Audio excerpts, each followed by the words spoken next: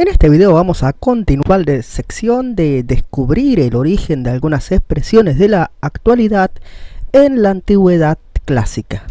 Así como ya abordamos lo que significa ser estoico, escéptico, cínico o hedonista, el día de hoy nos vamos a preguntar por lo que significa ser ecléctico o qué es el eclecticismo.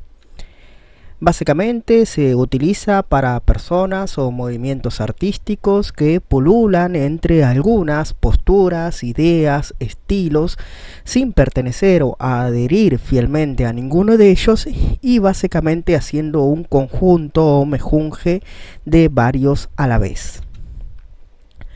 El origen del término se encuentra en el griego eklegien, es decir, escoger o elegir, y se da particularmente a partir del siglo II a.C. Ya la cultura griega había decaído por completo y quedaba lejos de la época clásica, por lo menos en términos filosóficos.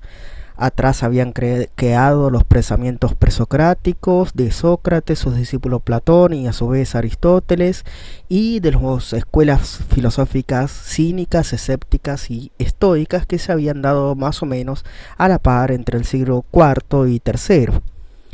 Y básicamente luego fueron sucedidas en el siglo II por escuelas, si se les puede llamar así, o más bien autores menores que lo que hacían era conjugar o tomar las mejores ideas, las más lúcidas de estas grandes escuelas filosóficas clásicas y básicamente las mezclaban de forma eficiente porque es cierto que muchas de estas escuelas no son incompatibles ya que pertenecen al mismo periodo y tienen ideas en común y otras veces más bien de forma poco orgánica de tal forma que quedaba un Frankenstein por así decirse.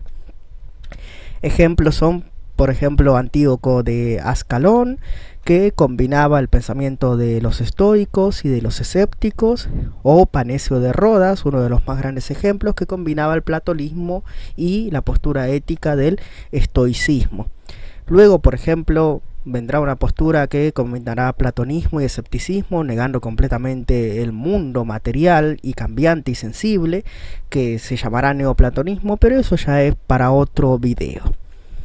El imperio romano se caracterizó por filósofos fundamentalmente estoicos, pero se podría decir que más bien eran eclécticos, es decir, tomaban las posturas éticas y físicas y a veces lógicas de los estoicos, pero las combinaban con pensamientos obviamente cínicos, a veces hedonistas o incluso de las escuelas del liceo y de la academia, de los peripatéticos, y básicamente hacían un mejunje más bien pragmático. Hasta aquí nuestro brevísimo y curioso repaso del día de hoy. Estoy dejando acá en pantallas finales otros temas abordados en esta serie de buscar la genealogía o el origen de algunos términos de la actualidad que se usan habitualmente.